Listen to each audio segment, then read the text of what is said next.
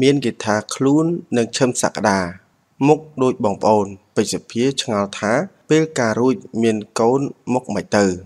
តារាចម្រៀងពេជ្រភានិងលោកឈឹមសក្តាជាគូស្នេហ៍មួយគូដែលមួយរយៈចុងក្រោយនេះចាប់ផ្ដើមបង្ហាញភាពផ្អែមល្ហែមជាមួយគ្នាញឹកញាប់ឡើងវិញនៅលើបណ្ដាញសង្គម Facebook ក្រោយពីស្ងប់ស្ងាត់មួយសន្ទុះធំមករាល់ការបង្ហោះម្ដងម្ដងរបស់ពួកគេតែងតែធ្វើឲ្យអ្នកគាំទ្រសប្បាយចិត្តត្រេកអរជំនួស ពួកគេផងដែរដោយសារតែភាពស្ងប់ស្ងាត់នាពេលកន្លងមកអ្នកគាំទ្រស្មានថាពួកគេមានរឿងអីជាមួយគ្នាផង តែតាមពិតហាក់មិនមានរឿងអ្វីនោះឡើយគ្រាន់តែការស្រឡាញ់សុភមង្គលពួកគេ បានធ្វើលក្ខណៈឯកជន ច្រើនជាងការបង្ហាញជាសាធារណៈដែលឡែកនៅយប់ថ្ងៃទី8ខែកុម្ភៈឆ្នាំ2021 តារាចម្រៀងមានដើមកំណើតមកពីខេត្តព្រៃវែងអ្នកនាងពេជ្រសុភាបានបង្ហោះរូបភាពផ្អែមល្ហែមជាមួយនឹងឈឹមសក្តាសាជាថ្មី បង្កប់សារដ៏តាក់ទាញពាក់ព័ន្ធទៅនឹងការមានកូនក្រោយរៀបការបង្កឲ្យមានការចាប់អារម្មណ៍យ៉ាងខ្លាំងសម្រាប់អ្នកគាំទ្រពេជ្រសុភាបានបង្ហោះសារបែបនេះ គឺនិយាយថាមុខយើងពីរនាក់ដូចបងប្អូន ជួយប្រាប់តិចមើលដូចមែនអីដូចជាងគេកន្លែងណាចុះបើសិនការរួចហើយ មានបេប៊ីមុខមិនទៅអត់យល់ព្រោះមើលហើយការពិតមុខដូចគ្នាមែននិយាយលេងទេ តាមរយៈនេះអ្នកគាំទ្របានលើកឡើងថាទម្រង់មុខច្រមុះនិងធ្មេញដូចគ្នា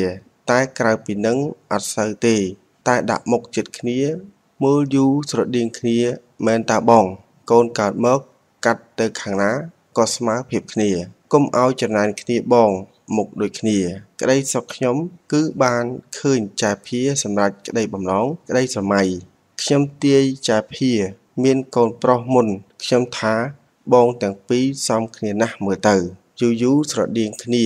មែនតើបងស្រឡាញ់បងតាពីរស្រដៀងត្រង់ចង្ការច្រមុះថ្មិញស្អាតណាស់មុខសមគ្នាសឹងអីពីរម៉ងអាយដលអ្នកខ្លះទៀតក៏លើកឡើងទៀតថា បងទងន់មែន ហើយមានបត់មែនដឹងតែស្រស់ស្អាតណាស់អ្នកទាំងពីរអ្នកខ្លះទៀតលើកឡើងថាមុខដូចគ្នា99%អាយដលទាំងពីរសមគ្នាណាស់គួរឲ្យស្រឡាញ់ណាស់បង អ្នកខ្លះទៀតលើកឡើងថា ដូចមែនតាចែគូប្រេងឲ្យច្បាស់ក្រឡែតបានមុខដូចគ្នា អ្នកខ្លះទៀតថា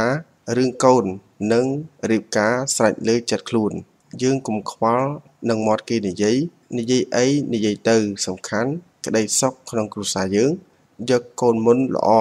ដូចខ្ញុំអញ្ចឹងការស្រឡាញ់គ្នា ត្រឹមសង្សារមិនសូវស្រឡាញ់គ្នាទេ ដល់ខ្ញុំពិភាក្សាគ្នាសម្រាប់យកកូនមុនការបងអើយប្តីស្រឡាញ់ខ្ញុំ ជាងការនៅសង្សារទៅទៀតដល់កូនកើតមក6ខែទើបរៀបការតាមក្រោយគូបញ្ជាក់ដែរថាចំណងស្នេហារបស់តារាចម្រៀងដ៏ល្បីល្បាញ វិវត្តខ្លួនពីអ្នកលក់អំពៅសាងអ្នកនាងពេជ្រសុភា និងតារាសម្ដែងម៉ូដែលរូបសង្ហាឈឹមសក្តាបានផ្ទុះខ្លាំងក្នុងឆ្នាំ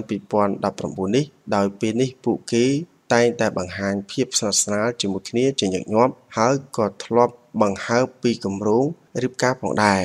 ប៉ុន្តែក្រោយមកក៏រៀងស្ងប់ស្ងាត់ ចំពោះការថតរូបបង្ហោះជាមួយគ្នាហើយគ្រោងរៀបអាពាហ៍ពិពាហ៍របស់ពួកគេនឹងត្រូវជ្រើសរើសសារជាថ្មីក្នុងឆ្នាំ2022ឯណោះដោយសារពួកគេមានរឿងខ្លះទៀតត្រូវបំពេញជាមួយគ្នា